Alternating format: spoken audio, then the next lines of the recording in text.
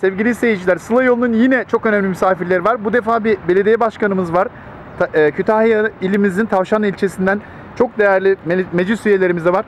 E, Sayın Başkanım, hakikaten bizi onurlandırdınız. E, birkaç kelime söyleyebilir misiniz bu burayı ziyaretinizle ilgili? Özellikle e, Türkiye e, Avrupa hattında Sırbistan bölgesinde e, Türk vatandaşlarımızın e, güvenli bir şekilde konaklayabilecekleri, yemek yiyebilecekleri böyle bir tesiste bulunmaktan mutluluk duyduğumu ifade etmek isterim.